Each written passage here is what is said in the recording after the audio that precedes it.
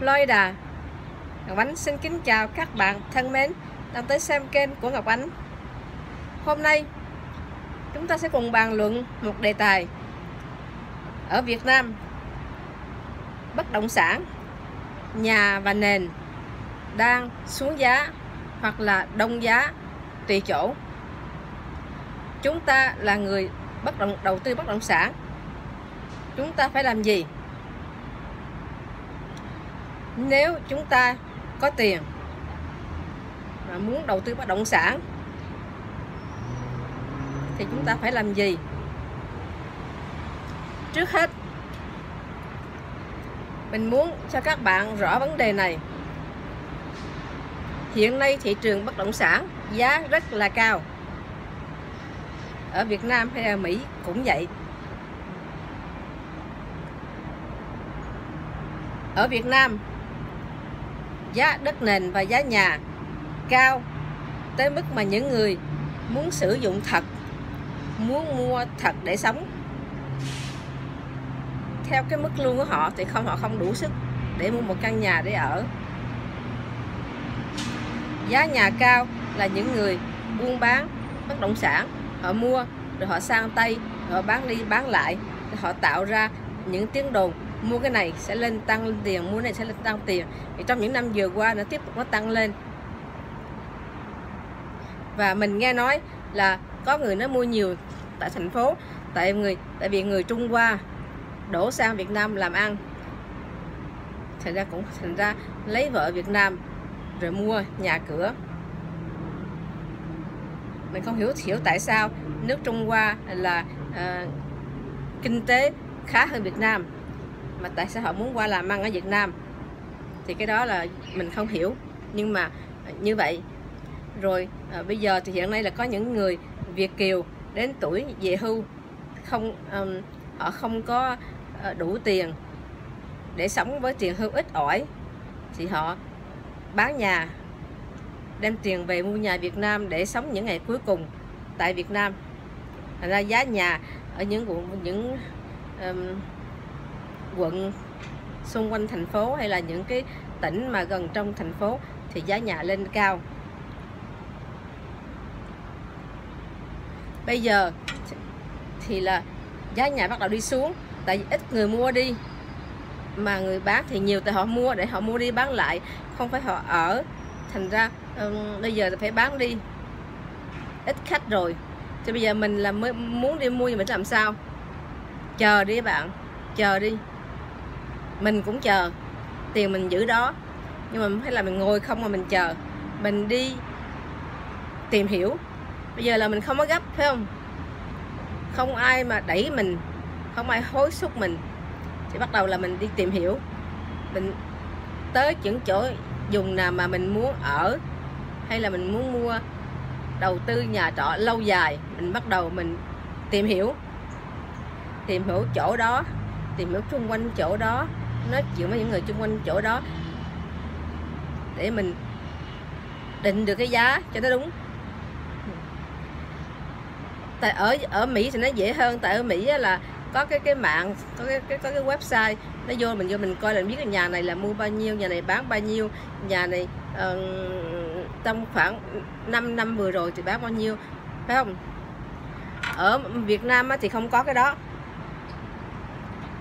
mình cũng không có tin tưởng được mà người ta nói hờ nhà này họ nói tôi mua vậy. Tại vì khi họ nói á, họ ưa tăng lên giá để ra vẻ ta đây cho quay cái nhà của tôi là trị giá nhiều lắm. Ừ.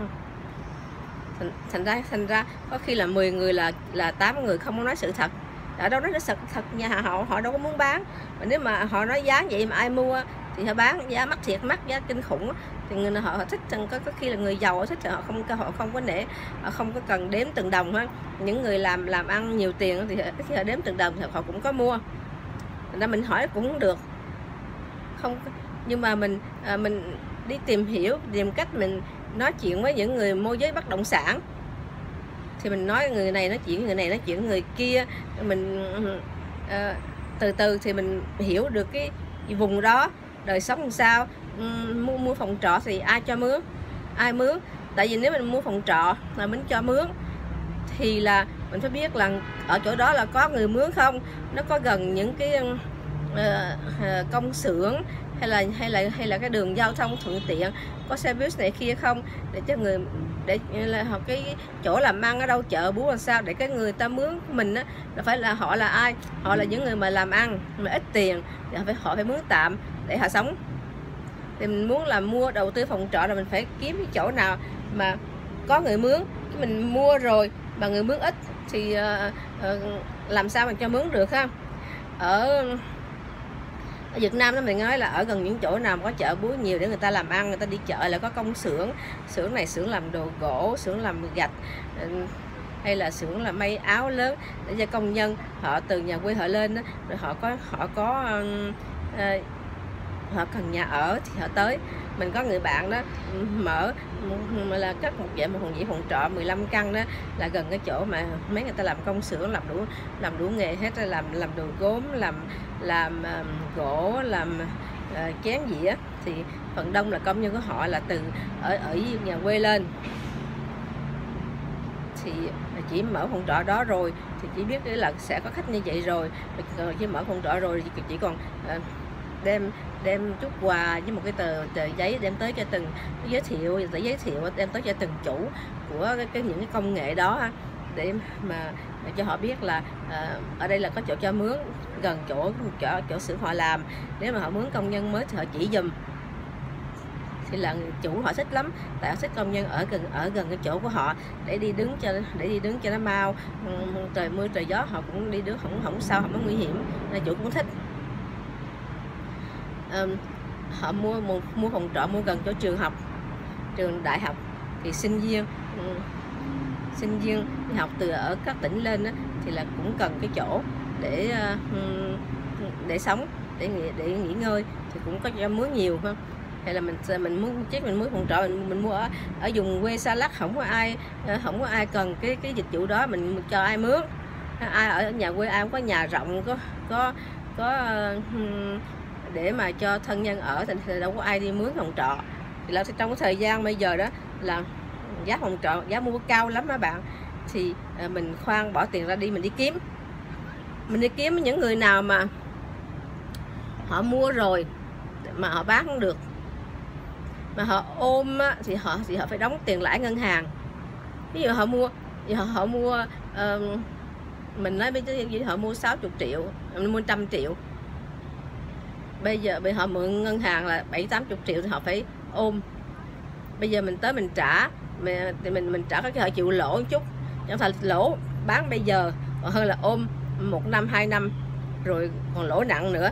Thì những người đó, họ đã ờ, đã phải mấy lần đầu họ mua họ mua 400 triệu thì họ mua 40 400 triệu rồi bán, họ bán ra được 500 triệu rồi lấy tiền họ mua nữa họ họ, họ báo nữa. Thành ra họ lời nhiều nhiều lần rồi.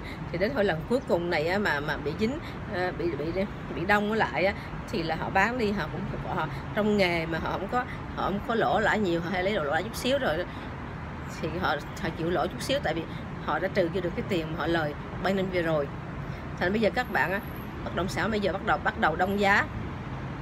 Có thể là nó xuống thêm. Có thể thì mình không gấp. Mình chờ. Trong khi mà chờ đợi đó, thì mình đi nghiên cứu. Nghiên cứu càng nhiều càng tốt. Mình ghi lấy quyển sổ ra, ghi cái vùng này, cái đường này, có nhà này bán bao nhiêu, cái đất bao nhiêu, chụp cái hình. Để tìm nhà mình ôn lại, mình coi lại, mình so đo. Rồi á, rồi mình gặp mấy người chủ, mình trả giá thấp xuống chút mà trả giá thấp chút á đừng có nói ờ ông phải bán gì em không lỗ, người ta giận, người ta tự ái, người ta giận, người ta sĩ diện người ta giận. Nói ờ em chỉ có chừng đó tiền thôi. Nếu mà anh chị bán được á, thì em mua. Còn còn chị, anh chị giá cá, giá trái à, mà mà giá cao quá thì em mua có được. Thì mình, họ thấy mình thật thà, mình muốn mua mà mình không, mà họ cũng hiểu là mình không có muốn trả giá cao. Mà họ thì họ không có muốn là sẽ bị ôm cái cái bất động sản đó lâu quá thì đây là cái dịp cho mình đi thám hiểm đi trả giá. Mình ở đây mình mua nhà cũng vậy hết người ta đòi 200 ngàn đô. Mình mình trả thử ngàn sáu một trăm sáu chục ngàn đô. Mới là không chịu.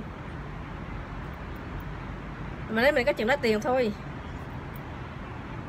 Giờ họ, họ bán họ bán muốn mất 200 ngàn đô tại họ mua là làm 180 ngàn. Họ còn muốn lời nữa. Là mình có hai cách hoặc là ok um, ở bên Mỹ ra có hai cách hoặc là bây giờ họ mua 180 mà mình biết giá thị trường nó xuống là sẽ xuống chừng 10 phần trăm từ 20 ngàn. Giờ mình trả bây giờ ừ, muốn trả giá đúng mà tính theo nó bị sụt xuống là là 160 bây giờ tôi trả cho 170 nhưng mà uh, anh giữ anh anh anh làm những cái này cho tôi anh làm lại cái nhà bếp hay là anh anh uh, tôi lấy lại cái mortgage. Vậy đó là mình sẽ vô mua đó vô là vô là chỉ có đem chút tiền thôi mà họ sẽ giữ cái mortgage mình giữ lại cái mortgage. Vậy là mình khỏi khỏi cái bị đi nhà băng mượn. Cách đó mình sẽ nói với các bạn sao chào các bạn. Chúc các bạn luôn luôn vui vẻ khỏe mạnh và uh, làm ăn thành công. Bye bye.